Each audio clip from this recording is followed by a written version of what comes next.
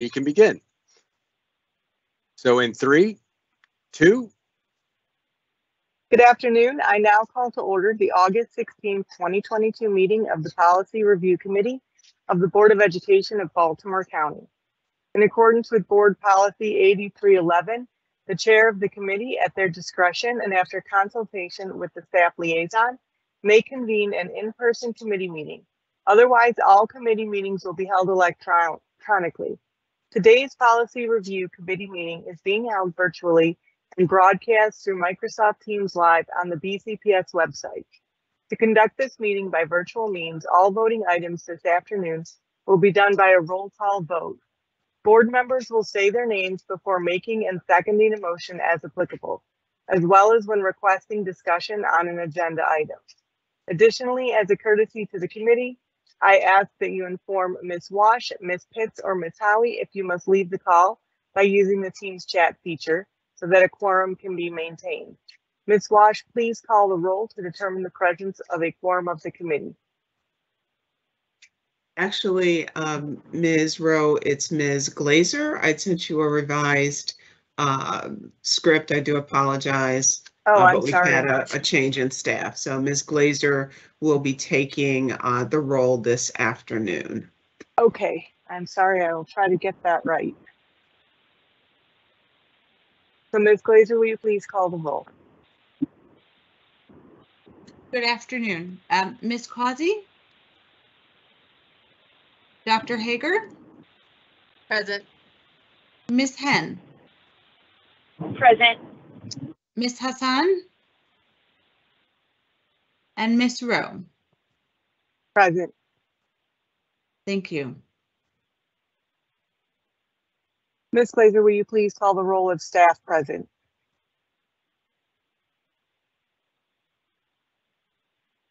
So the only staff members present may are the um, the law office staff.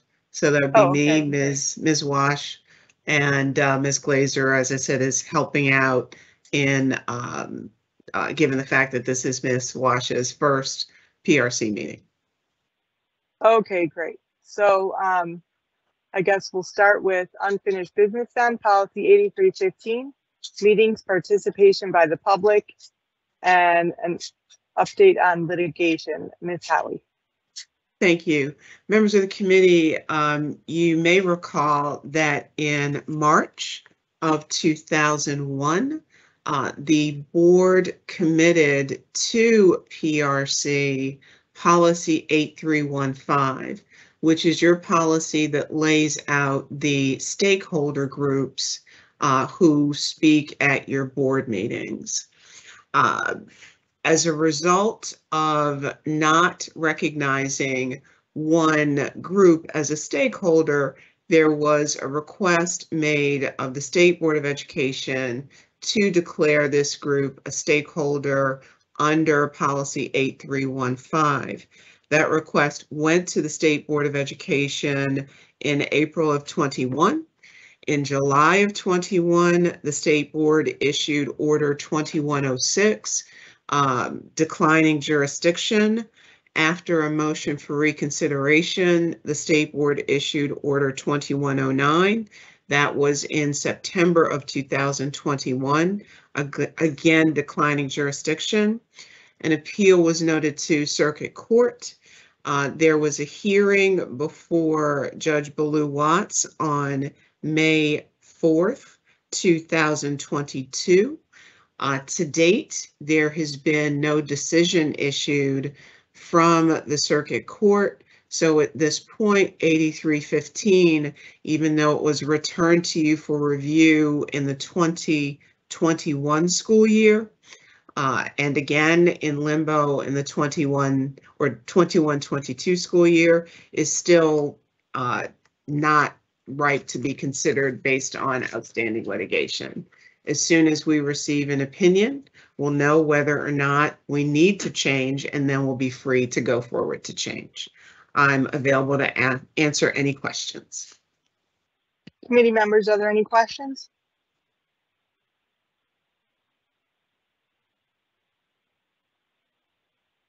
Okay, hearing none, we will move on to the next agenda item. Appeals and hearings Madam handbook. Chair, Yes? Oh, I'm sorry. Go ahead. Ms. good Causey. afternoon, everyone. Thank you. Uh, So currently, under policy 8315, how are new stakeholder groups evaluated for consideration by the board to be included? Currently, there is no uh, method for evaluating how any group will be considered to be a stakeholder, or any new group, I should say. Uh, The policy indicates that only groups extant, believe it was as of the 18-19 school year, will be considered a stakeholder group. So that was one of the questions that was to be considered by you or by the committee when the policy was to come back to be considered. Thank you for that. I would um, think it's appropriate to ask uh, PRC staff to review other Maryland LEAs and see how they include stakeholder groups or do not include stakeholder groups. Or um, if there is not a similar stakeholder group status used in other LEAs, to uh, recommend a process uh, whereby the board could review and um, determine whether new stakeholder groups uh, should be included. I think if um, it's been clearly demonstrated during the COVID pandemic that uh, organizations, including our school board, need to be uh, ready to adapt uh, and that there are things that were not previously issues that quickly became very important issues.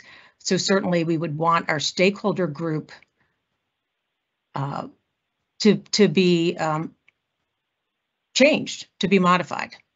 So I'm curious if other um, PRC board members uh, would consider making that request also. So I think, um, if I understand what you're asking for, it might be that the best way to do that is eventually this policy is going to be reviewed once litigation is um, complete. And the consideration of the outcome of litigation, um, along with what is the process for determining who is and is not a stakeholder and what criteria do they have to meet, that that would be part of the policy that we'd be reviewing. Would it not, Ms. Howie? Yes, ma'am. So could, um, if no one objects, could staff prepare that analysis and research um, for when that policy comes to the committee? Surely. So that way we can have that information.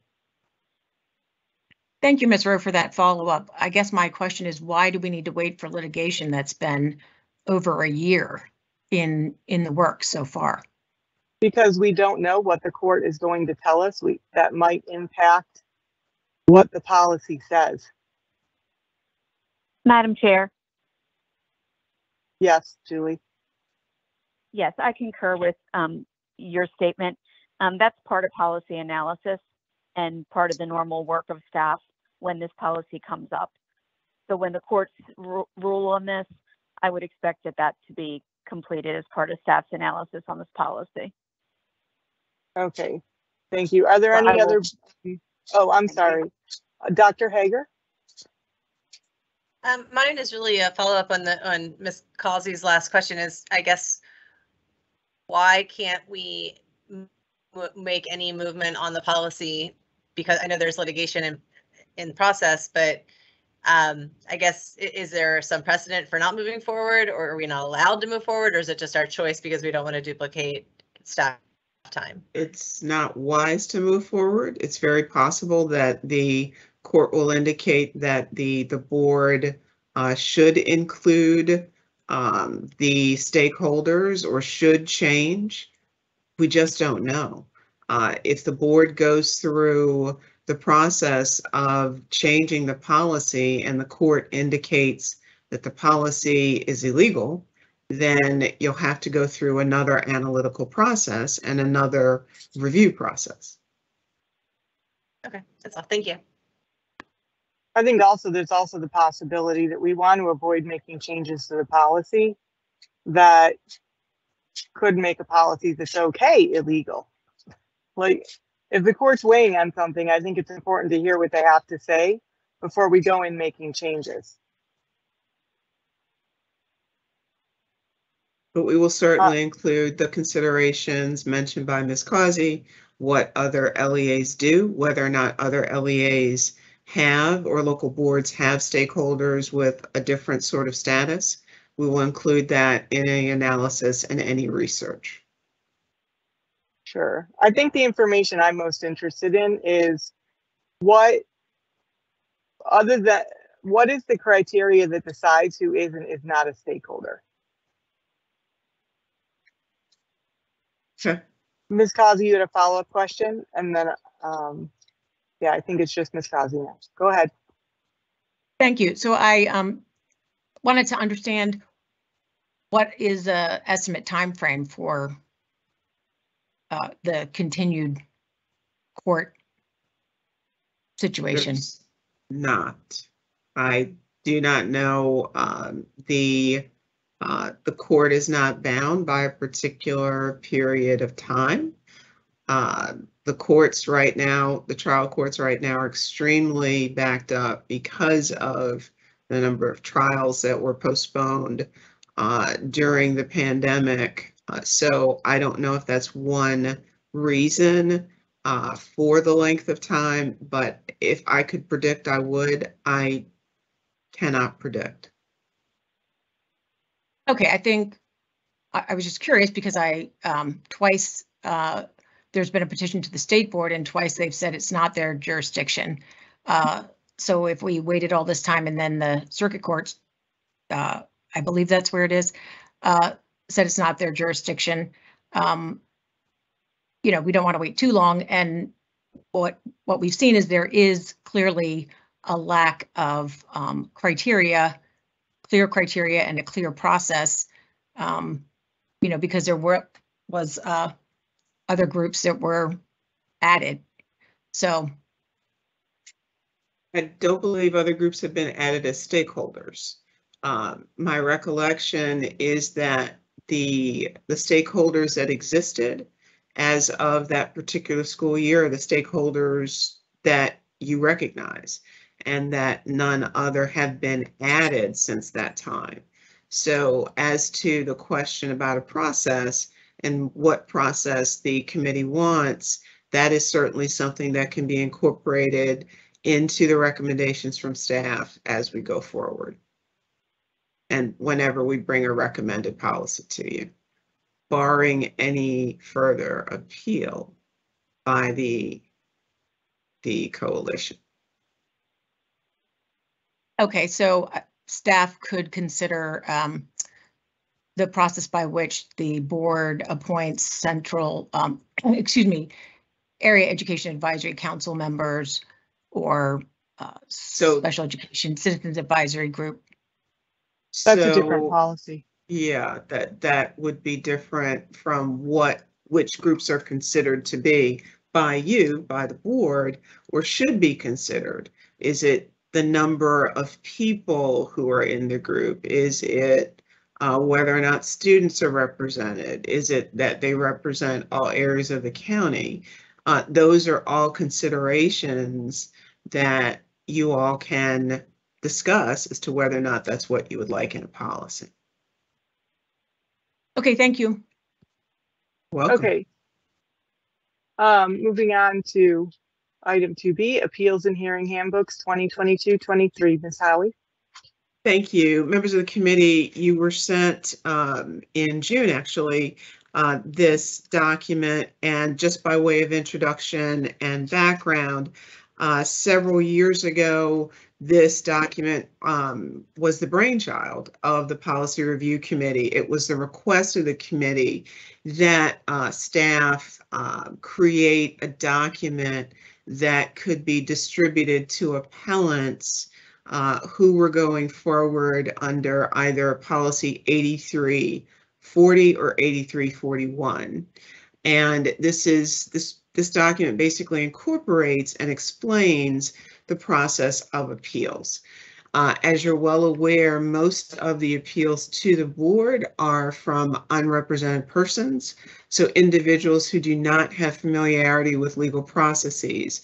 And the desire of PRC was that staff create a document that would explain to particularly unrepresented persons exactly how those two policies work.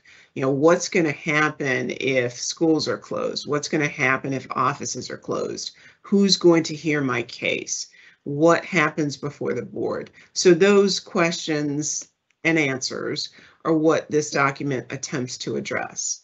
As well, what we do each year is send this document to your panel of hearing examiners because they're the, the first line of defense, if you will. They're the ones who are actually carrying out the work. And they send back recommended changes or um, amendments based on their experience during that school year. So some of the changes that you see are based on recommendations from your hearing examiner panel. Some of the recommendations are because of issues that have come up during the year. Uh, some are word changes. We've received from Ms. Henn this afternoon some word changes, um, some grammatical um, changes, so those will be incorporated. There are a few changes, however, and I did inform Ms. Henn that I don't believe we can incorporate. However, the great number, the, the large number of uh, changes she's recommended, the staff has no problems with. Happy to answer questions. Committee members, are there any questions?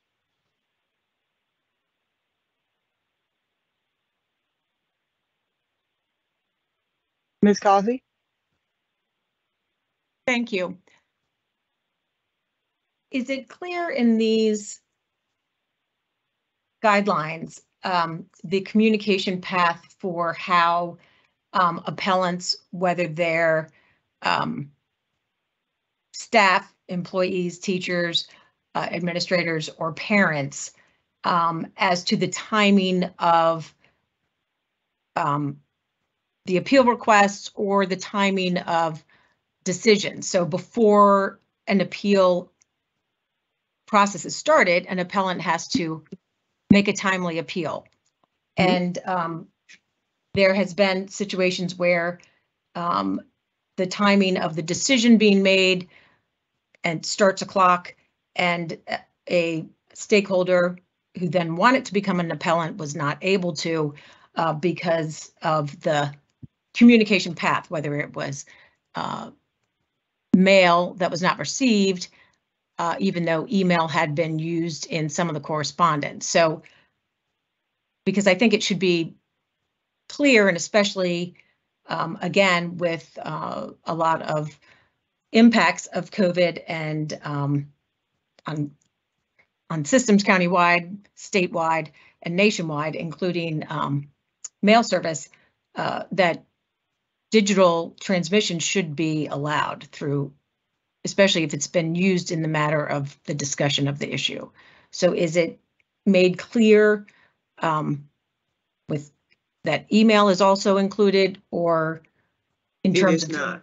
What is made clear is uh, what is in 6202, which is 10 days to appeal to the local board, and 4205, which is 30 days from the date of the superintendent's decision to appeal, to note an appeal to the local board. Those time periods, as well as 7305, which is 15 days, all of those time periods are included in uh, not only in those policies, but as well in this document so that all the time periods are set forth in one place. So if I understand, the time periods are set, By law, but the, but the method of communication of the decisions that start the time frame are not clarified. I'm not sure I understand your question, ma'am. So I believe she's asking what constitutes a timely file physical mail or does email included too? And does doc, Email Yes, is not. Included, and thank you for the clarification. Email is not included in time, what is timely filed. Uh, It is not. That is correct. Okay, and is email used in providing the potential appellant, whether it's an employee or a parent regarding a student matter? um, Is email used to notify those stakeholders and potential appellants of the decision?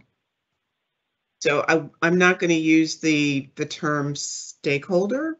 In this context, it would be appellant.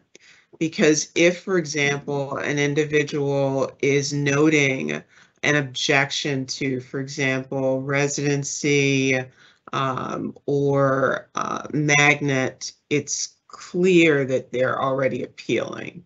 Uh, and when they're at, let's say, the superintendent's level, I can speak to that.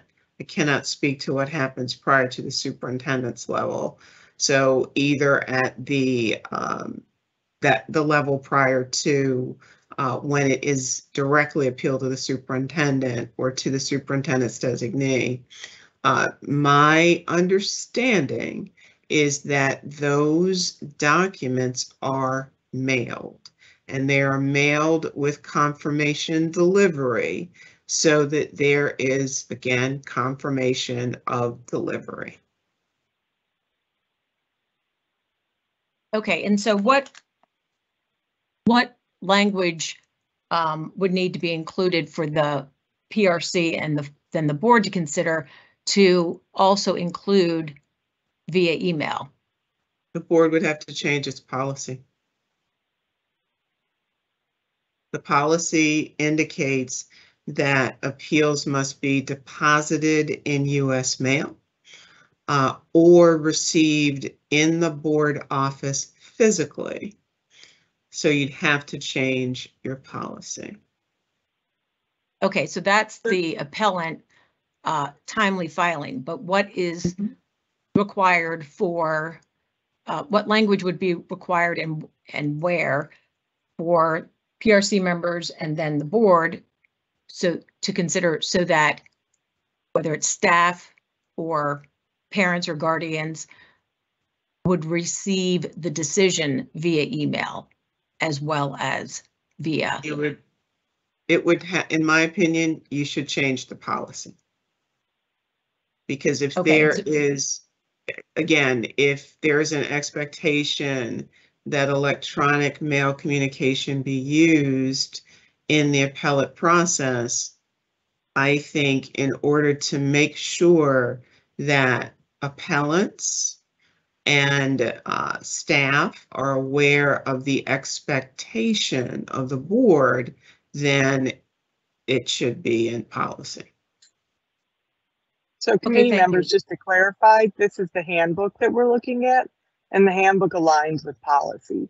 So if there's things in the handbook that you want to change that are specified in policy, that's not really what we're doing today. What we're looking at is to make sure that the policy, that the handbook aligns with the policy we have. yes, thank you. And some issues, you know, bring into question working backwards from the handbook to the policy, what is um, fair and um, consistent and effective. So, Ms. Howie, that would then be policy um, 8340, 4205. 8330, 8340, excuse me, and 8341. And would it also have to go back to policy? Um, I think, did you say? So the section two oh two is the state, the annotated code of Maryland. Yes, ma'am. 4205, 6202, 7305 are sections of the education article. And they set statutorily uh, the deadlines that exist for appeals to each local board and as well to the State Board of Education. Okay, thank you. And then would also policy fifty-five sixty need to be amended so that uh, parents or guardians would receive decisions of the superintendent regarding student suspensions via I think email. you- I think you would need fifty-five fifty as well, but yes, the discipline policies, again, would have to be uh, amended. What I would caution the committee to consider is whether or not the communities that you wish to serve have access to electronic mail. Uh, So the assumption that that is more efficient or that it's easier is not necessarily accurate. Well, thank you, Ms. Howie. I appreciate that because my, uh, what I, the way I would address it is to make it both, to be mailed signature receipt, but also via email. Are there any other committee members who have? Thank you. Um, questions regarding the handbook?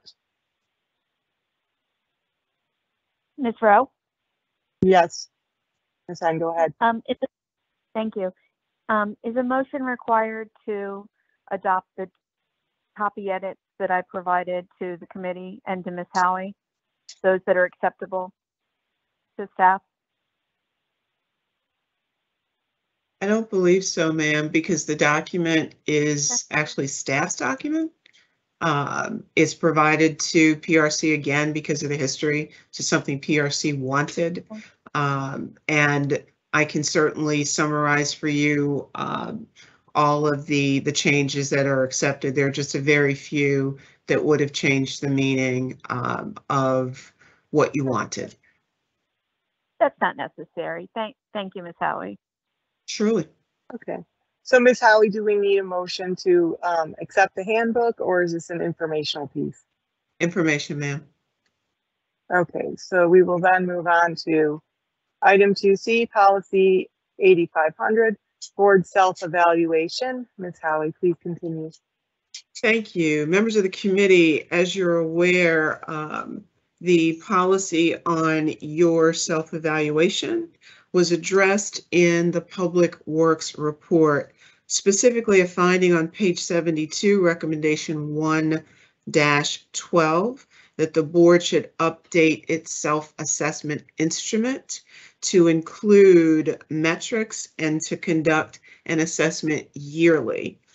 Um, staff is bringing, has brought before you recommended changes to your self-assessment policy, your self-evaluation policy that includes um, an evaluation component and a process.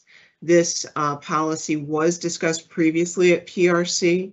There was a recommendation at your March 30th, 2020 meeting uh, by Dr. Hager and Mr. Thomas uh, to add board committees to subsection 2B. That has been done. Uh, Board committees is now found at line 38. Um, If there were, and I'm sorry, there was one other change that was requested, and that concerned uh, asking the Maryland Association of Boards of Education to facilitate the development of a self-assessment tool. That language has been added to page two, line 13 through 15. Committee members, are there any questions?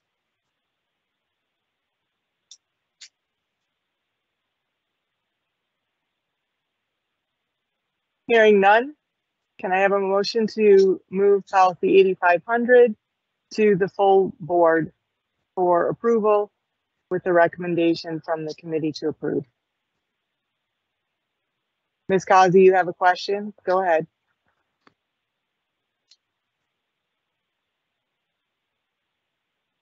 Ms. Causey? Yes, thank you. Uh, So part of the discussion at a prior uh, PRC meeting related to the student member of the board and um, the fact that the student members of the board start on July 1 and then go serve through the school year and then their term ends on June 30th. Um, And I don't uh, see anything in here that addresses the timing of the self-evaluation so that um, the student member of the board could submit the evaluation and then um, prior to the end of their term. Did I? So, and I, um, I can do you comment on apologize. that, Or, I thought we had moved, uh, so, um, it was May when the board adopted its self-assessment. Thought we had moved it from, um, June, July and August to May, June and July, but I can certainly look at the earlier draft. Um, so is, does, is the committee's pleasure that this, these be different months? April, May, and June makes more sense for the student member to participate because they end in June, in the end of June. And in fact, sometimes the student member, depending on when the school year ends, would have to be like that first meeting in June because once they're finished with the school year, they may not come back. So is it the committee's pleasure that A one now read um, April, annually in April, the board will conduct its self-assessment. And then annually in May, the board will conduct an assessment based upon the metrics. And then annually in June, or no later than June of each school year, the board will create and publish for the public a plan to address deficiencies. Are there any objections to that from any committee members? Um, let, let's let, let, um, Ms. Hassan comment first since she is a student member. Thank you. Um, so I, first of all, I, I think, I do think it should be changed to annually in April and then no later than, I believe you said May, or sorry, June. Um, not only for the sake of the student member, but also for our sake as a collective. Um, I can guarantee, I know I can speak for myself. I can't speak for every student member, but I can speak to myself and um, to the knowledge that I have of previous student members and what I hope for the future is that the student member will be returning after the school year ends. We are not here just for the duration of the school year. Um, so even if it were to stay as, you know, annually in May, um, the board will update its self-assessment instrument to include metrics as determined by the board. I don't see a major problem with that, especially because the student member will still continue to be there and they will still be able to submit their self-assessment. Um, also, additionally, no student member, to my knowledge, has ever missed the June meeting. So I don't see how that would be such a significant issue. While I do agree that the student member should be able to participate, I don't think that as this policy stands currently, I don't believe it already poses a huge issue. So that's my perspective as the student member um, and as, you know, also a board member in participating in this self-assessment. Um, however, I do believe that if we are moving it back a month, I don't think it should be only for the student member's sake. I think it should be for our sake, so we're able to move forward faster so that the board has the ability to view that self-assessment as a whole more effectively. Okay, so, um, I think one of the benefits of moving it to April, May, and June is also so that it's not just a case of filling out the self-assessment and turning it in. It's also a case of the discussions that the board has surrounding those self-assessments. So if we're publishing something, um, in June, then having all of those discussions in May means that everyone is there to participate. We usually have two meetings in May. And I like the idea of having it say April, May, and June for multiple reasons, particularly so the student member can fully participate, but um, also for other reasons as well. So are there any objections from the committee members to changing those months from May, June, and July to April, May, and June? no objections Okay. for me. Can you, Okay, Can hearing I that, have a question. I have a question. Can you clarify the expectations for the board's activity in June? My only concern is that we have all of our graduations in June. And I want So to make sure that what we're, do we can deliver on that. commitment. So what happens in June would be number three. It says no, la- it would read no later than June of each school year. The board will create and publish for the public a plan to address deficiencies identified in its self-evaluation.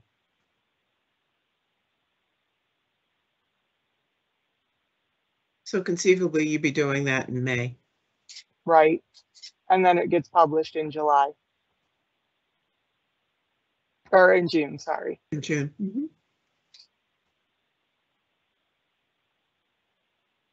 Okay, I'm- hearing I'm no fine with- objection, On it- all right. Yeah. Hearing no objections, those changes stand, and Ms. Holly can edit that. Um, Ms. Causey, you had a comment? Yes, thank you. Um, I, um, in, on page one, line twenty-seven, no later than, which will now be June, no later than June of each school year, the board will create and publish for the public a plan to address deficiencies identified in its self-evaluation. Um, I think it would be, um, it would better serve the board and the public um, to address areas for improvement identified in its self-evaluation, because it may not be that it's deficient, and then we would have to define some standard for deficiency, um, but areas of improvement. There's been um, different cycles of the board where um, engagement in advisory council meetings has been outstanding, and there's been different periods, and I'm talking over eight years, um, that it's been um, not amazing. So I think that the board, when it's evaluating um, the self-assessment that's compiled after all the members have completed it, uh, that they could plan to publicize those areas that they're going to focus on for improvement.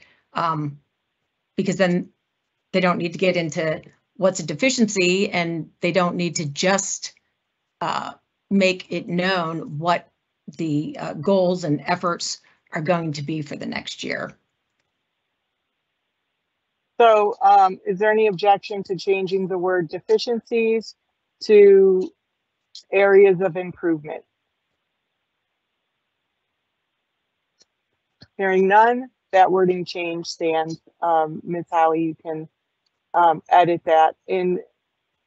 Is that the only place, Ms. Howie, in the document where deficiencies is used in that context? Or are there believe other so. places? Yes, ma'am, that's the only place. Okay. Um, and I think that's a good change to make considering that we try to positively word everything for teachers, students, et cetera. It's consistent with how we do things.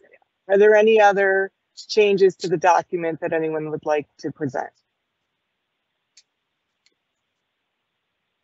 So I have one more question, Yes, Ms. Ms. Um, so on page two, line 17, it states, uh, implementation, the board shall implement this policy. Um, previously, there have not been um, rules associated with um, some of the board policies. And so I wondered, is this something then that needs to be included in a handbook revision? Um, or is, um, where else would, you know, the actual process be outlined? So I know that we've talked before, members of the committee, Ms. Causey, about where it's appropriate to have a superintendent's role and in ninety-nine percent of the eight thousand series, it's not uh, appropriate because the board is implementing. So if the board's desire is that you have another document that further um, explains the procedures, that gets to be more granular, you certainly could include it in your handbook, uh, or you certainly could have an appendix to this document that explains, um, as I said, in a more granular fashion, uh, the procedures that you will use to ensure that you implement your policy. Thank you for that response. So in legal reference, would it be appropriate to add the board handbook? um, Could add that as, um, as a related policy or related document. Okay, um, Ms. Rowe, would Is you there like to any see if obje- there's consensus? Yeah. Is there any objection to adding the board handbook to um, the legal reference or related policies section? Ms. Howie, I'll let you decide exactly how that should be worded there. Sure. Are there any objections? Hearing none, that um, amendment stands. Thank Are you. there any objections to moving this policy forward with the recommendation of the committee as amended?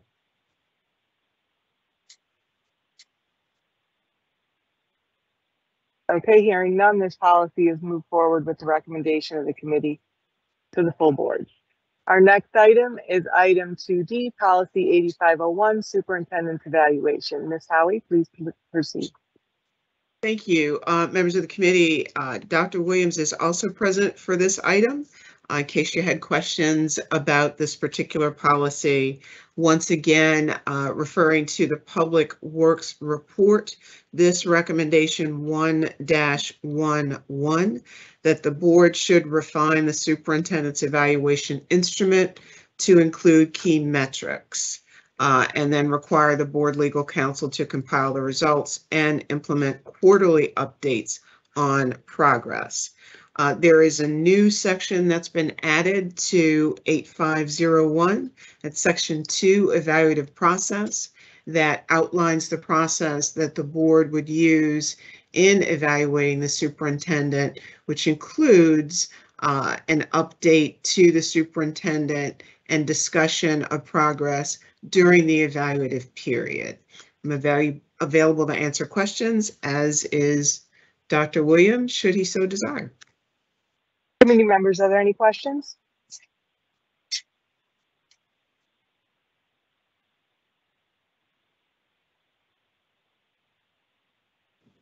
Dr. Uh, Hager? Yeah, I just, um, since Dr. Williams is here, I just wanted to see if he had any, um, any thoughts or revisions or, or anything on, on this policy. I mean, t- to me, it reads as we have been doing it over the past two years, but, um, I'd love to hear his thoughts since he took the time to be with us today. Thank you, Dr. Ha- Hager. Um, when I first came to this, to the system, we met with the board and outlined the tool and reached agreement wi- regarding data points. And I think the policy as written, the board has followed unless there was some amendments with the time frame and it was agreed upon by both parties, myself and the board, to extend based on circumstances. A lot of it was dealing with the pandemic. So I think we have worked collaboratively to complete this. Um, and so I don't have anything to offer to change um, based on the, the written policy. Thank you. Committee members, are there any other questions?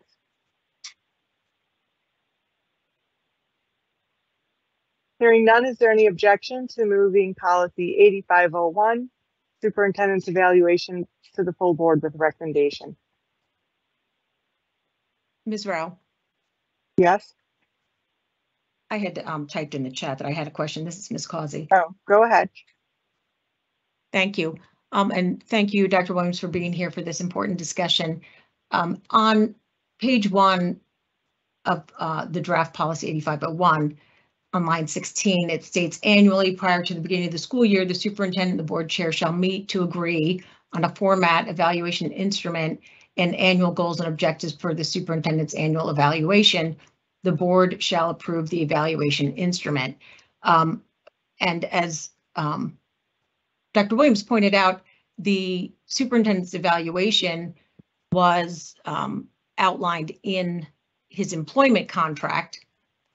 So I think there needs to be some change to the language, and I'm open to hearing from staff what that would be to reflect, um, number one, that there may already be um, elements in the employment contract with the superintendent that need to be adhered to. And also, it's um, not been the case that the board chair would be the only one engaged in the agreement process of uh, the format um, evaluation instrument and the annual goals and objectives that are contained in that uh, annual evaluation. So I don't think that that, I think that paragraph needs work. Ms. Causey, which paragraph are you referring to? To A. Page one, line 16, paragraph 2A. That's true. We actually have a committee, a- um, an ad hoc committee for the evaluation instrument. It's not actually the board chair at all. The ad hoc committee does that. So it sounds like two different processes. The ad hoc committee comes, up, and again, correct me if I'm wrong, the ad hoc committee presents uh, a document.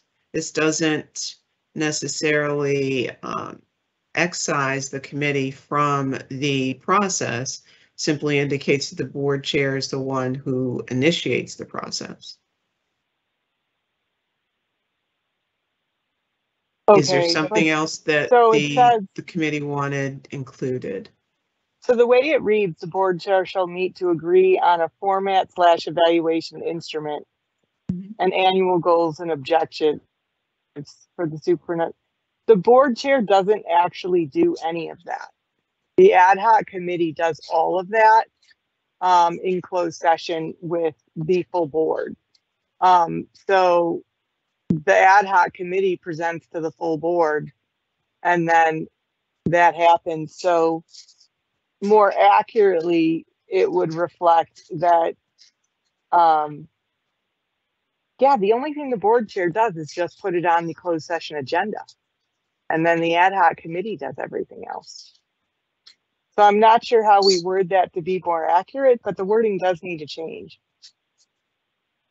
So, Ms. Rowe, um, the ad hoc committee was created after the contract was established. And so I guess the question is, for the full board, do you, do they see the ad hoc committee still existing? Because at the end of the day, what ends up happening, the tool itself did not change. The, the board decided not to change the tool.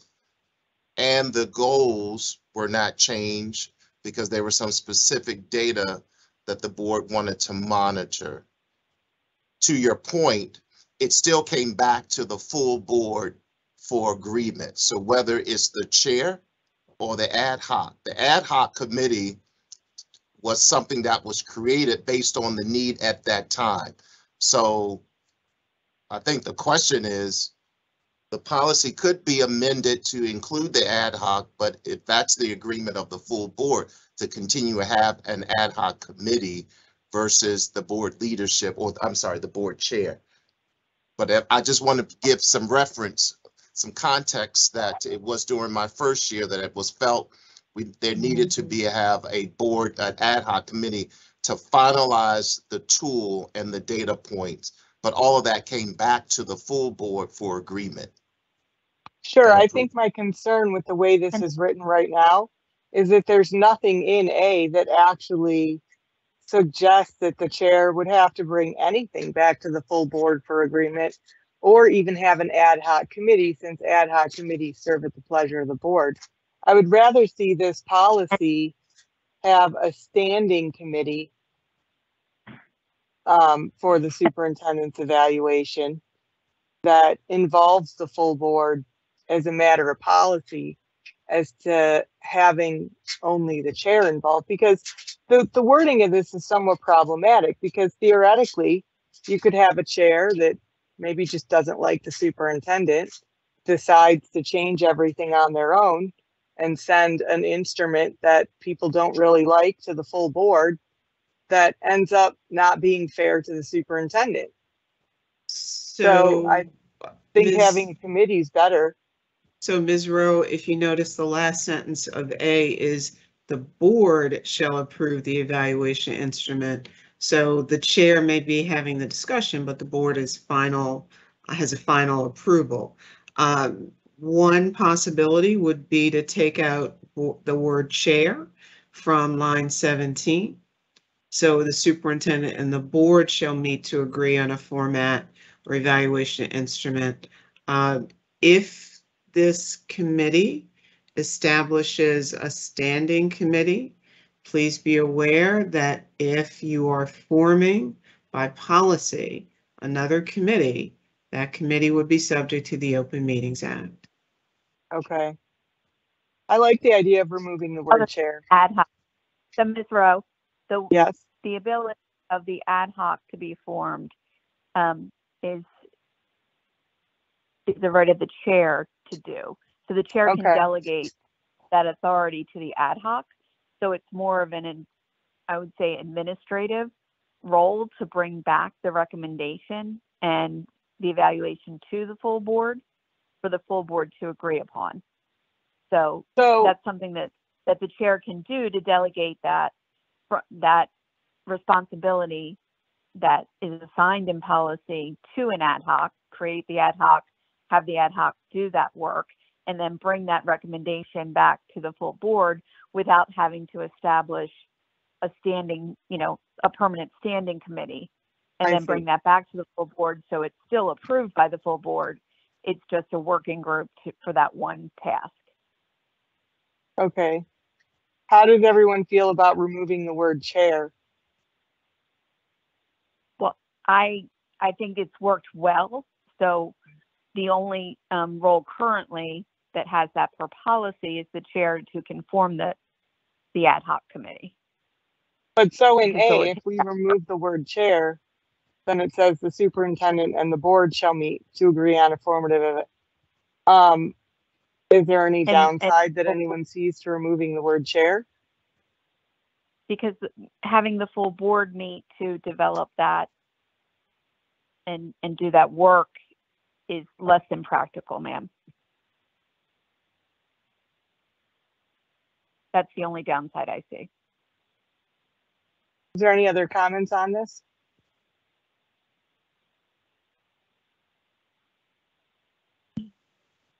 Dr. Hager? I was typing that I was confused at where we're leaving off. So are Well, we, I don't, I don't know that we have a real consensus to do anything with the wording as it is. Unless But other people it in the committee like have ideas. my interpretation of what Ms. Henn was saying was that if, um, if it stays as the board chair, then the board chair can appoint an ad hoc committee and that wouldn't be against the current policy. Is that correct? That's her position, yes.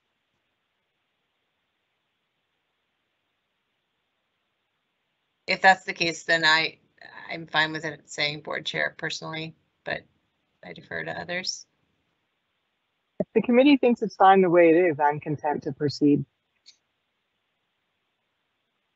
Just You to have a make a question? comment, it goes back to the full board as Ms. Howie's, whatever the ad hoc committee recommends, every time it will go back to the full board, so I think Okay. it covered in that line twenty or twenty-one, it says the board still has to approve the tool.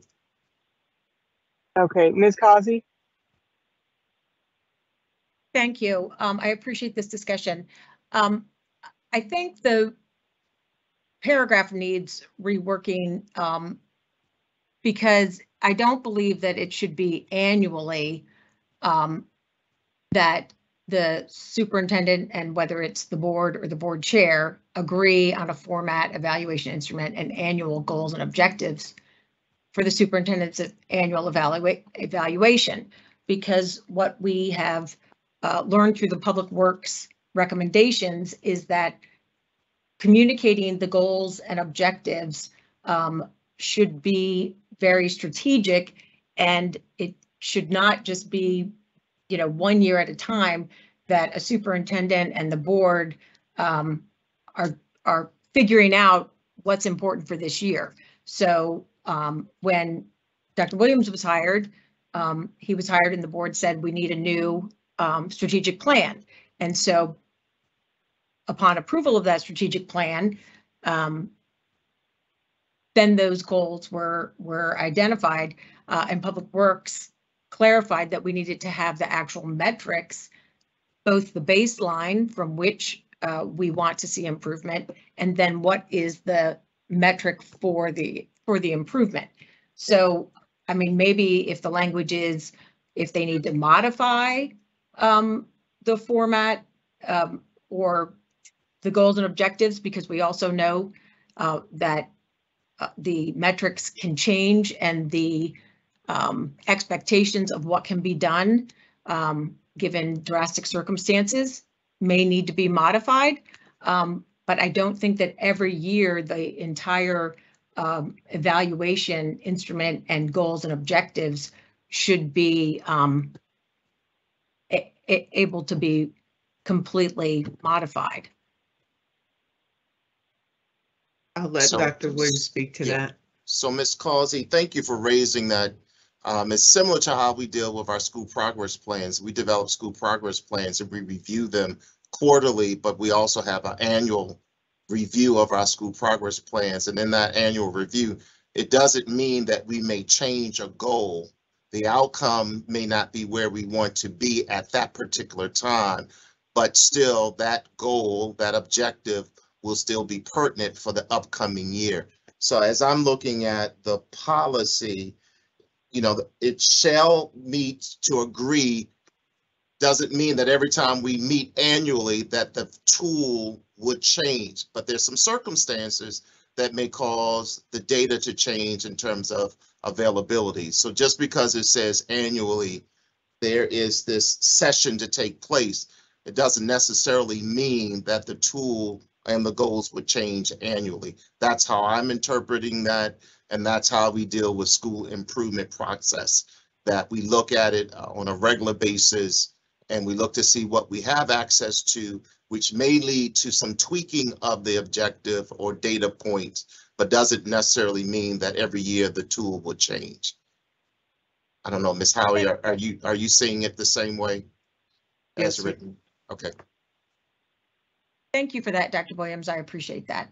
Um, I would then, um, suggest that the paragraph A as, um, was suggested that the chair be removed and it's the board. Um, and the chair in policy, uh, has a responsibility to facilitate the work of the board. So if the board chair, uh, determined that an ad hoc committee in one year would be the way to facilitate the work of the board um, to be efficient or effective, then the board chair would have that um, ability.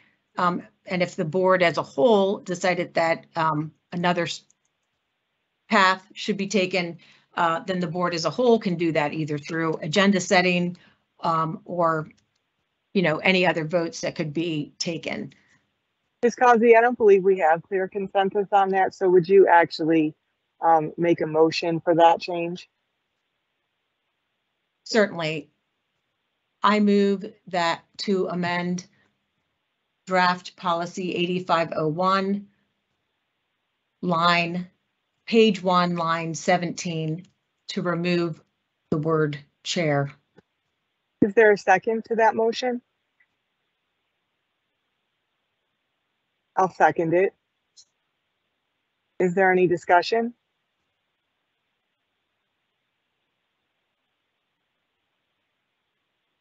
Okay, please call the roll. Ms. Causey? I'm assuming you're in favor. Yes, Dr. Hager? No, Ms. Henn?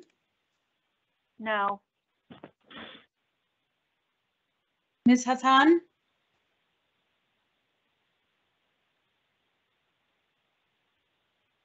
Ms. Rowe? No. I have one in favor and three against. Okay, the motion fails. Um, Ms. Causey, did you have another edit to the document? yes, thank you. Um, Public Works recommendations uh, were clear that the board council would receive and compile the evaluations um, and the superintendent's evaluations. and facilitate that um, process. And I don't see that included in this policy draft. If. Staff can could you speak to that. a a location for that? Because that is something I've always found um, a little bit odd is that we ask, you know, the superintendent is the secretary treasurer of the board.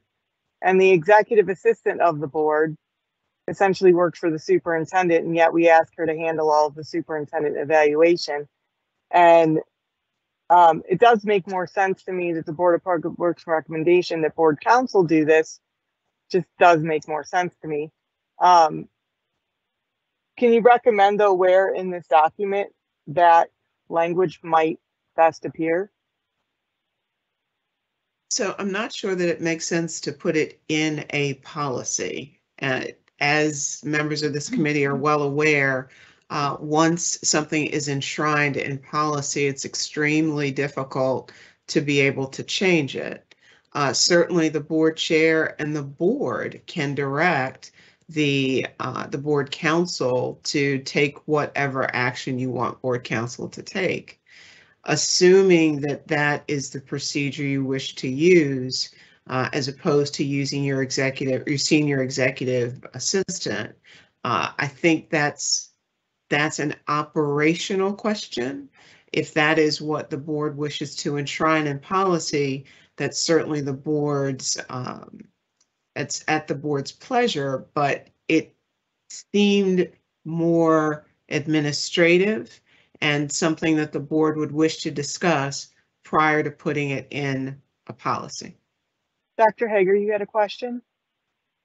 Um, yes, I, I I definitely see what Ms. Howie is saying, but I, I do think that it is important to have an external party be the one who um, compiles the evaluation in order to kind of take away any, any social desirability bias or anything that might happen in the future. I, I think that it does.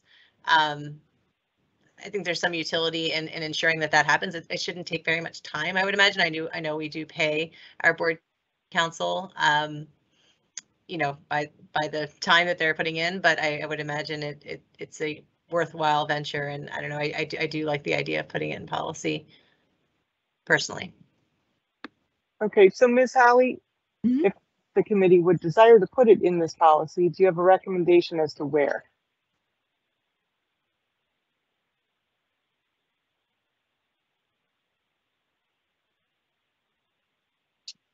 I would add, uh, I would add it to subsection B. Subsection B, okay. Mhm. And Ms. Causey, you put um, uh, an amendment in chat. Could you please um, make that motion out loud, please? Thank you.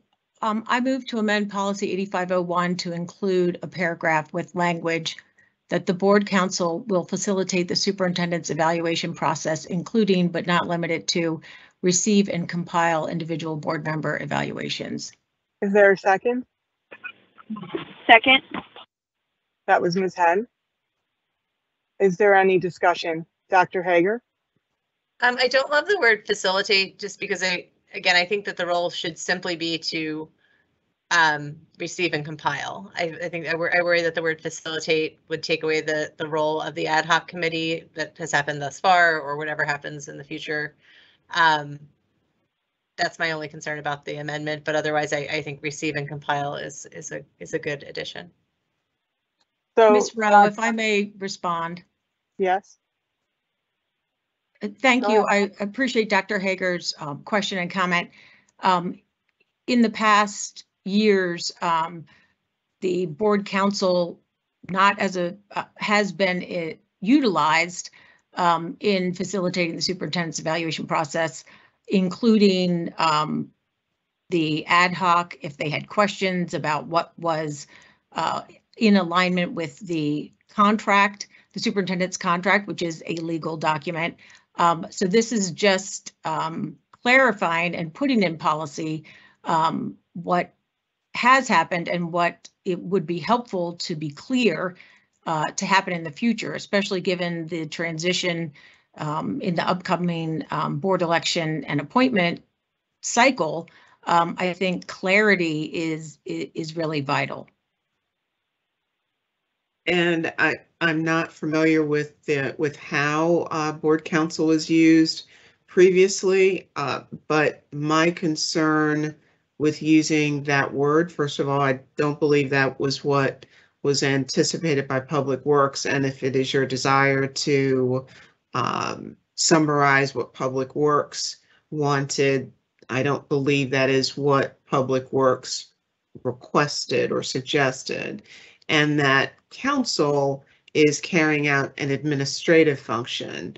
Um, and not to say this in a negative uh, way or in a demeaning way in any way, but a secretarial function in compiling and giving those results back to uh, the board in summary fashion.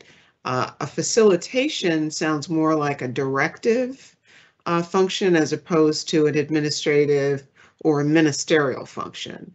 And I'm not sure that's how you use counsel. Okay, so would anyone object um, to the idea that we strike the language will facilitate the superintendent's evaluation process, including but not limited to? So that that way it would read, include a paragraph with language that the board counsel will receive and compile individual board member evaluations. So, Ms. Rowe, if I may, Yes, um, if there's a question, if there's a concern with the word facilitate, um, maybe to, and I'm not sure that that concern is amongst all the members here, but um, I, I have that. it could be, it could be, uh, the board counsel will assist the board in the superintendent's evaluation process, including but not limited to receive and compile the individual board member evaluations. Um, Ms. Rowe, may I make a suggestion? Hang on, uh, Ms. Hassan had a question. Go ahead, Ms. Hassan. Sorry, thank you. Um, so I actually, I was going to suggest almost exactly what Ms. Causey said, because from my understanding in the past, um, the ad hoc committee has been the one to facilitate the process and, and, you know, counsel has always been sort of a supporting feature. I believe this past year was the first time counsel um, facilitated the process. So my, my thought, and I guess my question is, can we like, can we all agree, I guess, that if this motion is to continue um, and, and amend that language, can we use the term aid in or support or something more assisting so that the ad hoc committee takes um, like a more of a leading role in this process rather than legal counsel, just to ensure that we have that consistency? I think replacing the word facilitate with support is good. And um, Roha, just to clarify, what this section is really, this amendment is really getting to is that typically it's the board administrative um, executive assistant who collects and compiles all of the board member evaluations. Um, and the concern of some board members in the past has been that oddly information that certain board members put on their evaluation forms ends up in the possession of other board members. And so having the attorney do it creates a level of confidentiality for each individual board member, but also protects the executive assistant from accusations.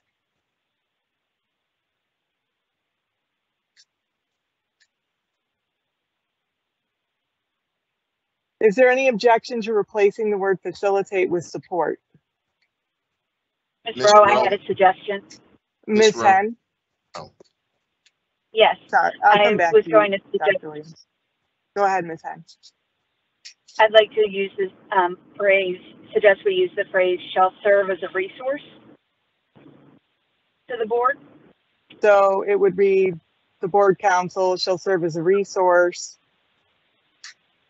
for the superintendent's evaluation process. Is that what your intention is? To include, yes, Um, To Dr. include- Williams, you had a comment?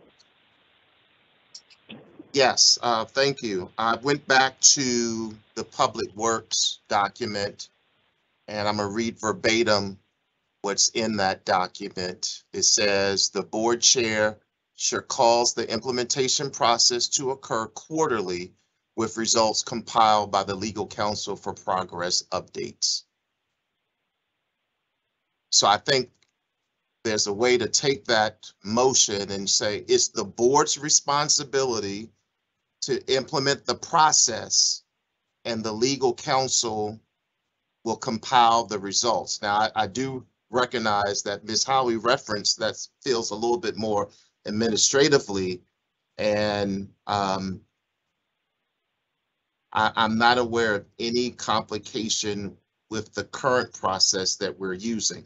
However, if you want to follow what's in the Public Works, it references really the board, this is the board's responsibility, and the results are compiled by the legal counsel. So that So may that- help with the language than Okay. facilitating. So that aligns with what Ms. Henn's um, suggestion was to change the language so that the board counsel will, how, could you type that into chat, how you changed that, Ms. Henn? Because now I've forgotten precisely what it was. To use the word support instead of. can't, so- shall serve, shall serve as a resource to the board. I, I'm not somewhere I can type. I'm, Okay. I'm joining by phone. So if somebody could type in the chat for Okay, me, I I just appreciate typed it. it in. Um, Serve as a resource to the board. Okay, so that would change. Um. Why is my screen not working? Okay, so that would change, um, the language. That board counsel shall serve as a resource to the board for the superintendent's evaluation process, including but not limited to receive and compile individual board member evaluations. Does anyone object to that language? Ms. Um, Rowe, this- this is Ms. Causey. Um, On page, I just wanted to clarify, um, Public Works language on page thirteen of the seven hundred and forty-nine page report that says, um, update its self assessment instru, excuse me. I'm sorry, refine the superintendent's evaluation instrument to include some key metrics, require the board legal counsel to compile the results and implement quarterly board updates on progress. right, okay, that's Thank you. exactly what I said in, all right, so I'm gonna read this again. And if anyone objects to this language, then we'll vote on the language. Um, so does anyone object to the language? Board counsel shall serve as a recess to the bo- resource to the board for the superintendent's evaluation process, including but not limited to receive and compile individual board member evaluations. So, Ms. Rowe, th- this is Erin Hager. Um, Okay, I, I don't, I don't object necessarily. I just, it seems a little unnecessary because the board counsel is always a resource to the board. Um, but I think for, for time's sake, I, I, I do not object to it. It's fine. okay. So hearing no objections, that language stands. Um, Ms. Howie, you can edit that. Uh, Are there any objections to moving policy 8501 superintendent's evaluation as amended to the full board for approval? Hearing none, the policy moves to the full board. Um, item two E, ethics code policies, new COMAR provisions. Uh, Ms. Howie, our meeting was supposed to end at six. Yes. Is that correct? And how long do you anticipate this agenda item to take? In order to do it justice, at least a half hour. Okay, are the committee members able to stay until six thirty at the latest? Is anyone unable to stay? You can type in the chat.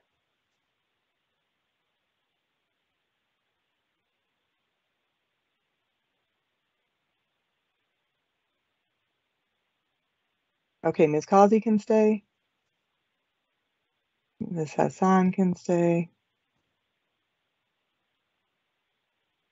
I can stay. We'll I can try for stay. six fifteen, but let's just say six thirty at the latest. Okay, thank you, committee members, for your forbearance. Um, Mr. Corns, if you could please display the first slide. So members of the committee, um, you have before you recommended changes to policies 8360, 8362, 8363, and 8364, which are part of the ethics code. And just in terms of process, the each local board of education must adopt an ethics code. And these codes must be approved by the State Ethics Commission or the SEC. In March of this year, the SEC notified every local board of education in the state that as the result of changes during the 2021 legislative session, that changes were required to the local board policy. Uh, as a result, uh, staff approached the um, the chair of PRC and asked that these policies be added to last year's schedule. Uh, unfortunately, we were unable to get to these policies last year. So what I've done in the policy analysis is summarize for you the changes that we are recommending as a result of changes to the statute, changes that the statute has made. Um, and there were two bills actually that were passed during the 2021 session. One, um, HB 363, that was chapter 253 of the um, uh, of the 2021 laws, officials and employees acceptance of public acceptance of gifts and prohibited retaliation. Then House Bill 1058, Integrity in High Office Act, that is at chapter 425. And Mr. Corns, if you could display the first slide, please. So in your, thank you, Mr. Corns, in your, um, in your share drive, I provided this table to you. I thought it would be easier to um, digest the, the changes if you had this in table format. I just want to go through them um, based on, again, the changes that we're recommending. In 8360, which is your definitions policy, we are recommending three changes. Compensation, which follows the model policy, actually it simply changes uh, the words into to individual from person. Contribution, this is not a result of change to the public ethics law. This is actually Ms. Clark being her exceptional self and recognizing that in 2022, there were changes to the elections law. So we are recommending changes to the um, definition of contribution. And quasi-governmental agency is the result of changes in the public ethics law that now must be defined. In policy 8362, which is your gifts policy, we are recommending based on the changes that were made in the 2021 uh, session that uh, the acceptance of gifts from associations engaged in representing counties or municipal corporations be included. Again, this is as a result of changes in the law. Next slide, please, Mr. Corns. Policy 8363, there are two changes we're recommending.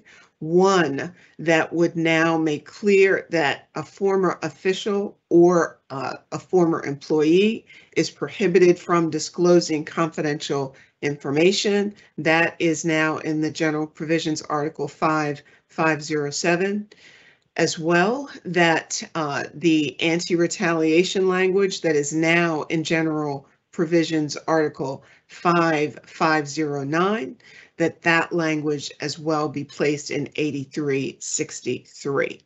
And for the final set of changes, the next slide, please, Mr. Corns. These changes are recommended for 8364, which is your financial disclosure policy. The first several changes have to do with expanding what has to be reported and what has to be disclosed. The final change on this page is a result of the Public Works recommendation that the posi- position of Deputy Superintendent be added to the organization. Deputy Superintendent was not a position that was required to file a financial disclosure statement. As a result, staff is recommending that that job title be listed in policy 8364 so that that individual be required to file a financial disclosure statement and that it be clear that that is what is required. As I indicated, this, um, this chart has been dropped in your SharePoint drive so that you're able to access the information just a little bit differently. Um, again, uh, it seems as if just about every LEA uh, missed this. This was, these were changes in the 2021 session. And as you see from the policy analysis, there are only eight um, sister school systems that have adopted uh, changes based on what happened in 2021. And all of that has been in the last couple of months since we've heard from the State Ethics Commission. In an abundance of caution, I did reach out to the State Ethics Commission, to the counsel, to make sure that the changes that were being brought forward to you were on track with what the SEC expected uh, when it sent out these changes to all of the local boards of education and was given the green light with respect to these changes. I did not want to bring the changes forward, have the board approve, and then have the SEC give us a thumbs down. We do have a thumbs up with these changes. And with that, I'm available to answer questions. Okay, committee members, I would just like to remind you that the Thank you, Mr. committee, Corns. that the sorry. committee did decide to review these policies with just these legal changes. So the policies will still continue in the rotation for review in the schedule. But today we're just looking at these changes, not every aspect of every policy. Um, so are there any questions related to these changes?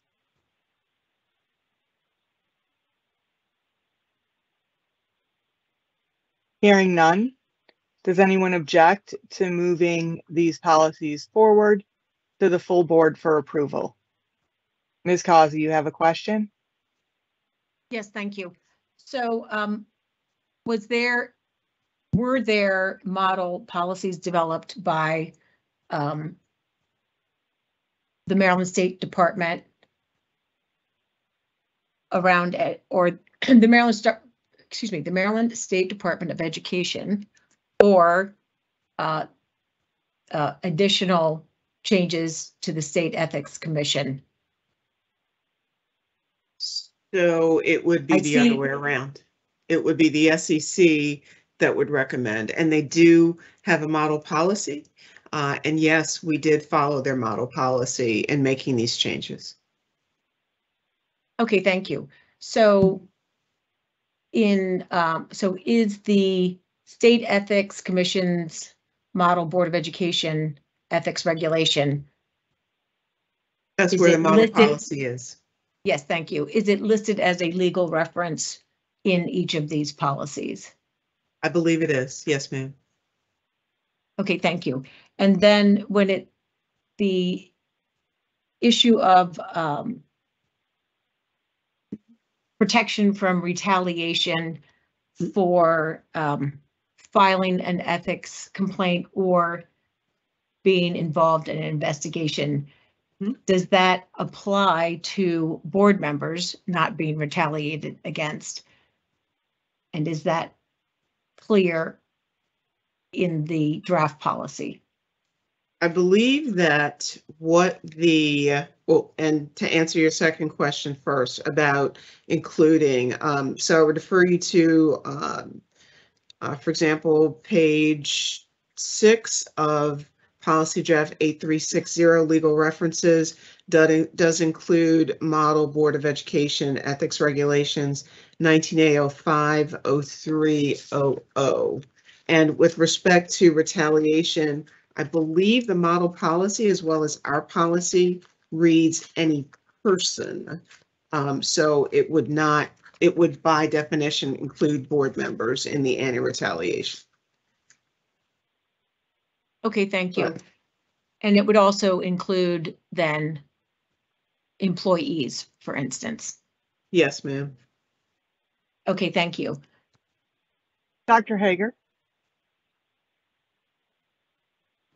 Sorry, I was having trouble unmuting. Um, so just to clarify, um, the addition of the University of Maryland Medical System language, um, it doesn't mean that a board member can't be an employee of the University of Maryland Medical System. I was not, but just, just throwing it out there, it's just specifying that that is part of the kind of the larger government network.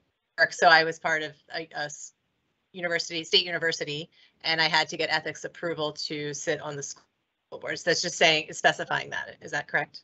That's correct. I went through the process have- of Annapolis to do that. And yeah. You have to Okay. report it under the new statute. Yes, ma'am. okay, thank you.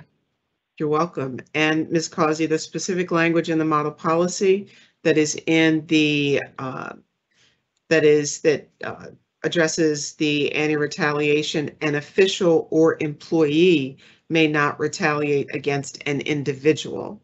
So again, individual could be board member, could be employee, could be uh, a member of the public, actually. So it doesn't specifically say that board members are protected from retaliation. It doesn't specifically exclude any person who reports, an individual for reporting. So Ms. Howie, in this case, it could even be a student. Yes. Okay. I think that's pretty broad sweeping. Um, are there any more questions or comments to this? I have one, Ms. Miss Rowe. Ms. Henn? Yes, thank you. Um, under the analysis, item three, Yes, ma'am. the change prohibiting the di- disclosure of confidential information by former official or employee. Mhm. Um, if I'm reading this correctly, that's updated in policy 8363? Is that correct? Correct. Yes, ma'am. That's correct. I, I'm apologize. I was looking at 8362. Um, never mind. And that is reflected.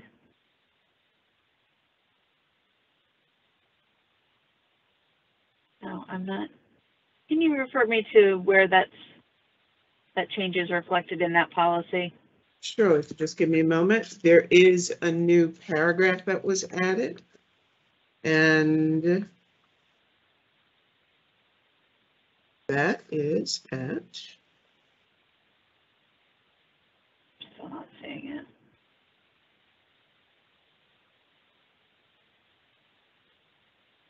Oh, I do see that. retaliation. I'm sorry, were you, were you asking about retaliation? My brain just turned off. Um, or the disclosure. former, the former Disclosure of position, I see it confidential, on five.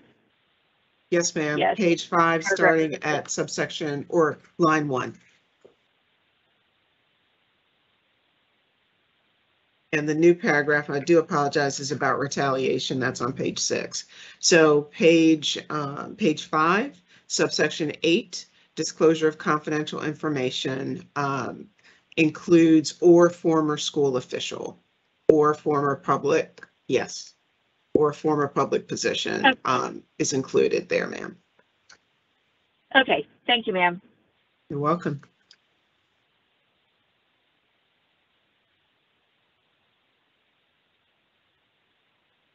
Um, are there any other questions? Ms. Causey? Thank you, Ms. Rowe. So um, in determining if a board member or employee um, has a interest in a business or a family member that has um, a job with a business or an organization that has uh, business with the school system, there have been uh, two different ways that I'm aware of over the years where um, board members or employees can look at the companies that are doing business with the school board. Previously, it was spotlight on spend, Mhm. but that was not updated timely. And so in the um, in the analysis of when you are supposed to do your financial disclosure statement versus when the information is available, um, there was a gap. And in the current um, format, that is a, and um, Dr. Williams or staff can clarify, um, currently it's a spreadsheet that is developed um, by school system staff uh, that includes a list of all vendors um, or organizations with whom the school system is doing business.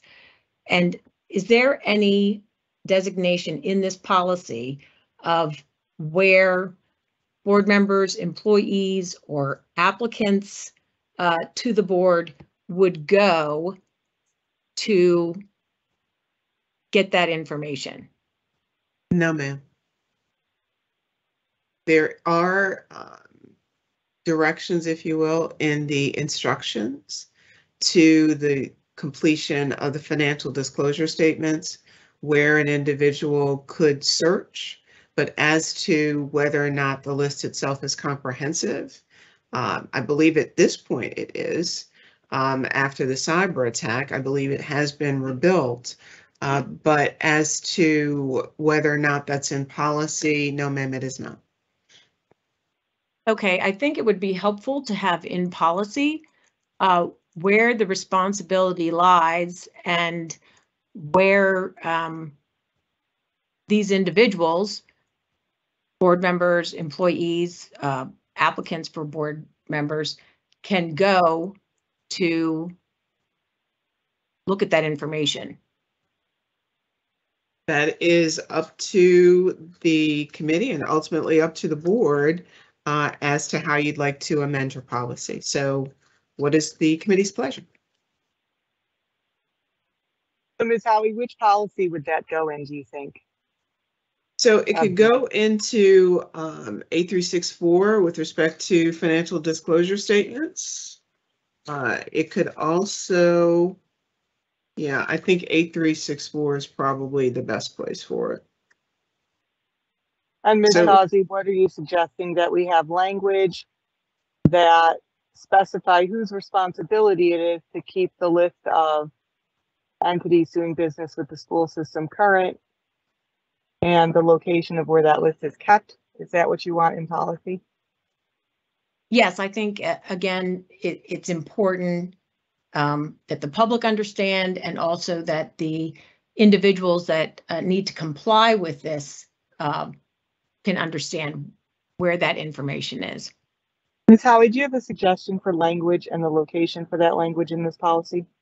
So what I would caution the committee about, however, is that I, if, if, if what you're trying to do is to indicate that because information is deficient, there wasn't an obligation, I don't think this will meet that need or that I that don't think- desire. I don't think that's what we're trying to do. I Okay. think what we're trying to do is specify in the policy that such and such a entity, the superintendent, whatever, I suppose for policy, the superintendent would be good. That the superintendent is responsible to ensure that the database of all entities doing business with the school system is kept current. And that the location of that database will be published in XYZ location. So if we had language like that in the policy, then I think that would be what Ms. Causey's looking for. Is that correct, Ms. Causey? Yes, thank you, because at the end of policy eighty-three sixty-four, um, it doesn't even have the normal statement of who is going to implement this policy. Sure, we need that too. Well, that's this policy with respect to financial disclosure statements really is your ethics panels. And your ethics panel has the ability by your policy and by state law to interpret your ethics code, which is why they issue advisory opinions.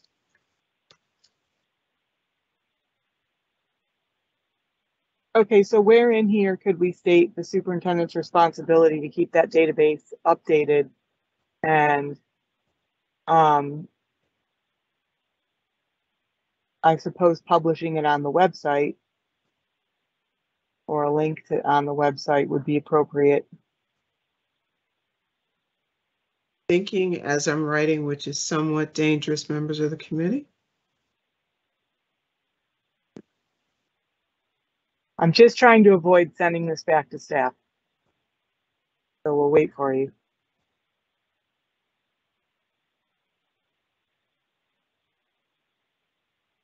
I do agree with Ms. Causey that this is important.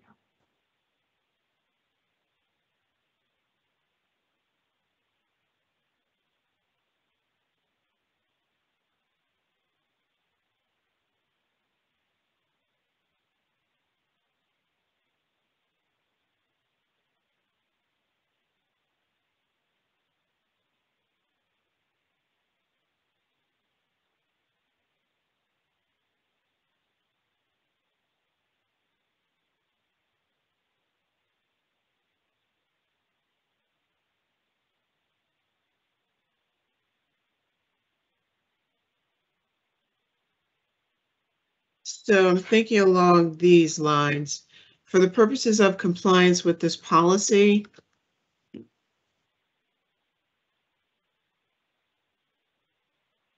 reporting to this policy, the school system will make publicly available the vendors and entities with whom the school system does business.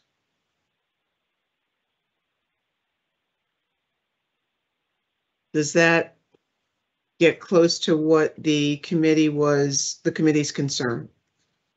So by saying it that way, does that imply that the superintendent is responsible for doing that? Because his employees are the only ones in possession of that information. So I don't see, I was trying to make sure that it was actually more diffuse.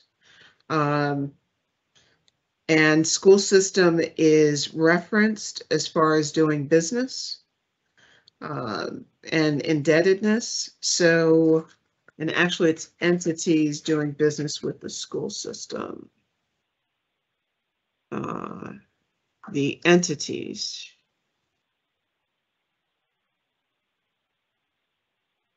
So for the purposes of compliance with reporting under this policy, the school system will make publicly available the entities. No, that still doesn't sound right. I'm sorry. Yeah, the entities with whom the school system does business. Okay, I'm satisfied with that. Does anyone object to that language? I see Ms. Causey typing. Do you have something to say? Uh, thank you, Ms. Rowe. Um, I think that that sounds, um, good, but it does not seem to include, um, a reference to a timely manner given legal filing requirements. And I'm not sure that, Current is, is timely, isn't it? Can you read your language again, Ms. Howie? sure, for the purposes of compliance with the reporting under this policy, the school system will make publicly available the entities with whom the school system does business.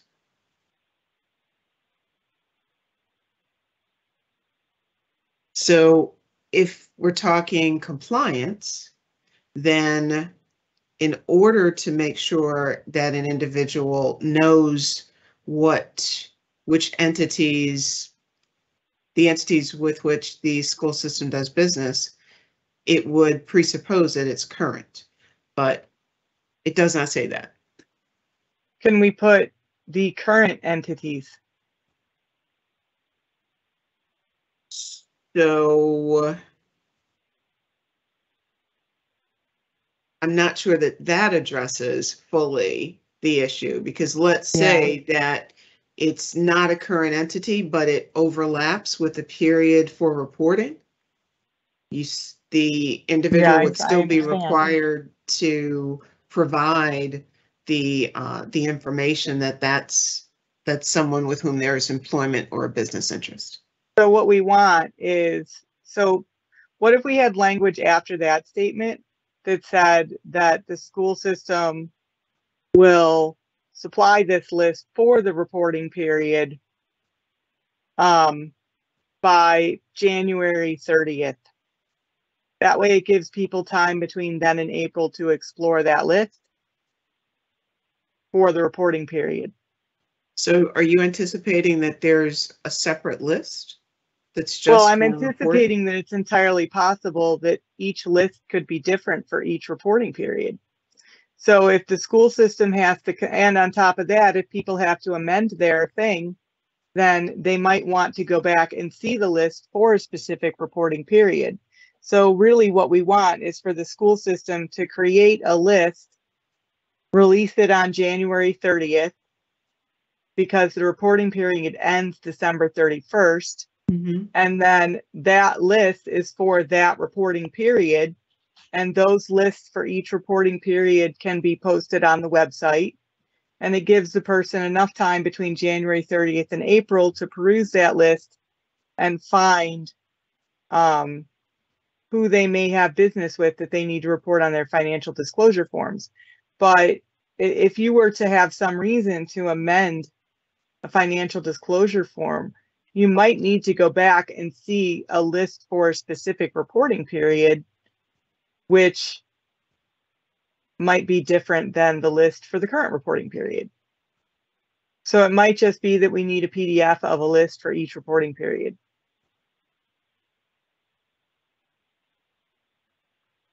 Ms. Rowe, if I may ask a Ms. question. Thank you. Um, I think setting a specific time frame is, um, would not be appropriate for a number of reasons. One, um, the timely manner to file an ethics financial disclosure statement, um, although there is a set deadline for current individuals who are required to file ethics financial disclosure statements, there are also exceptions to that, which includes uh, off-cycle appointments by the governor to fill vacancies, uh, by the um, ending of a uh, em- employee or a board member's um, tenure with the system. Um, And also, um, I guess my question is, what is the retention for these records, given um, their, you know, their legal requirement? Um, Which records? And- the, whatever financial system is used by the school system to provide this information. Because here you have ethics financial disclosure statement uh, filed, um, which has legal responsibility with it. And where is the proof, if you will, of an individual's filling out their form based on information provided to that individual. So I would think that the, the format for providing the vendor's uh, timeframe of doing business would be a document that would have, I don't know, at least a five-year or 10-year um, retention. Well, if Um, it's, if it's PDFs posted on the website, you could easily have those documents available for the duration the FDS for those periods are kept, right? So if you had a PDF on the website of a list of vendors, for a specific reporting period. Or maybe you could update that list quarterly. So that if somebody comes in midterm, they have at least the previous quarter to look at. Um, those PDFs could stick around on the website along the same cycle as the FDS.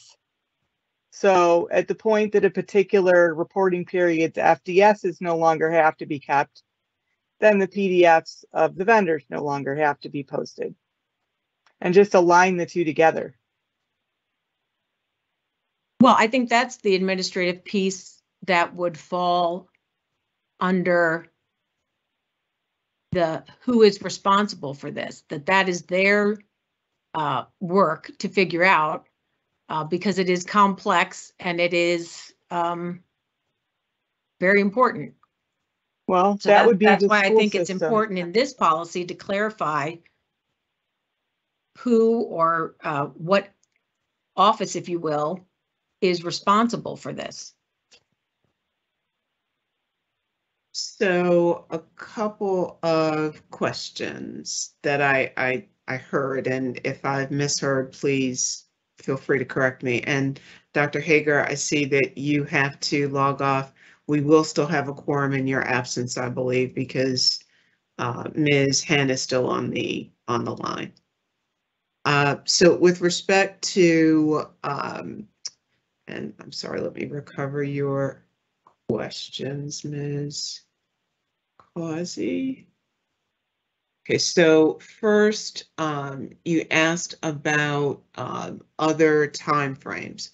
So, uh, if an individual's boards, or when an individual's board service or employment ends, that individual must file within 30 days of completion of service or completion of employment, a financial disclosure statement. And it's for that period, for that prior year, because the assumption is we might not have gotten it. Uh, that will be required uh, of anyone leaving board service, as I said, or leaving employment. So again, it, it could uh, chop off part of the year, but the intention is that it not, that it goes to the end of that individual's employment, which could or could not track, or might or might not track with the years, uh, with the reporting period for um, a regular financial disclosure statement for that prior year. So that, that's one um, response. Then, uh, or one question, you asked about the retention period. So um, as you're aware, all of the school system's records are um, on records retention schedules approved by the state archivist. I don't remember the number right offhand. I can certainly provide that after this meeting. Um, but as you're also aware, there's currently a ban. Uh, so nothing's being uh, disposed of by the Business Services Office. So that ban has been in place for um, nigh on three years. Uh, that nothing's been uh, thrown out. So records or non-records, I should say. So it's it's that is somewhat academic, uh, given that the board still has uh, a ban in place. Uh, with respect to um, let's see. I don't see another question um, unless you were asking about additional language. So those, was there another question, ma'am? Uh, yes, it had been asked uh, by me and um, I believe Ms. Rowe also how to include clarity of who or which office is responsible for updating and publishing this information.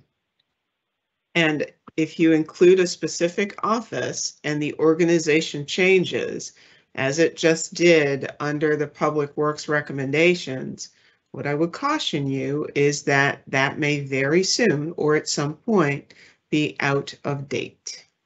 I'm satisfied with seeing the school system as that leaves it squarely in the hands of the superintendent to decide who under his jurisdiction is responsible for doing that. And then he is responsible to make sure that gets done, both as the superintendent and as the secretary treasurer of the board.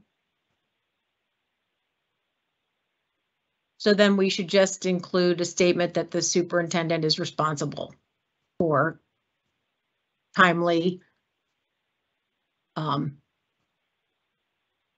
publishing of that info, up- updating and publishing the information. Would you like to make a motion to that effect and then we can vote on it so we can process this? Um, if that's your preference, sure. I'm not sure there'll be consensus, which is why I'd rather do that part by motion. Other than that, does any, besides that specific point, does anyone object to Ms. Howie's language? Can she, uh, can it be put in the chat what her language is?